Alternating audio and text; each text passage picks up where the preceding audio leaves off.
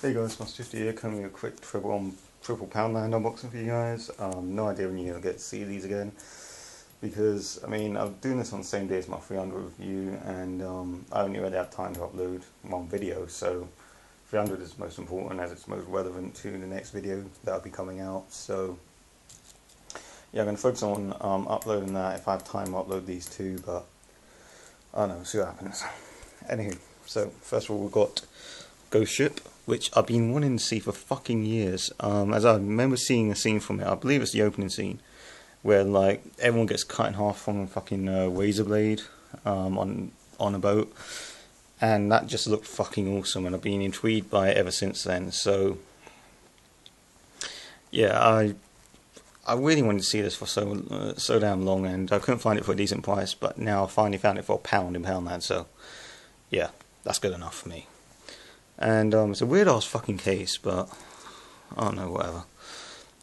There's the front, the back. Look.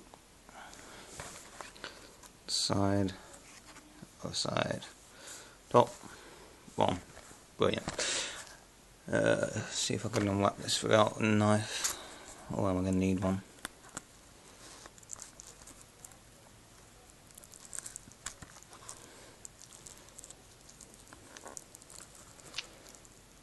A minute.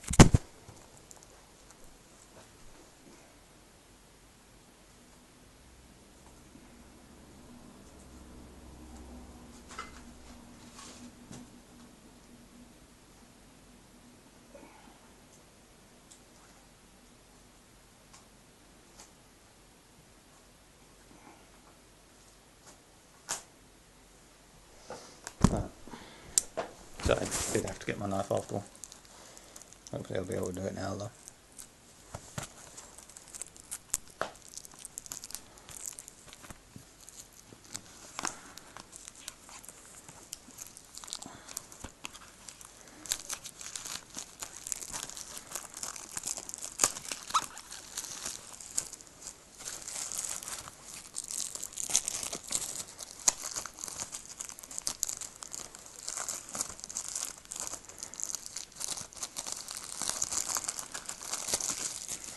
Okay, so let's open it up.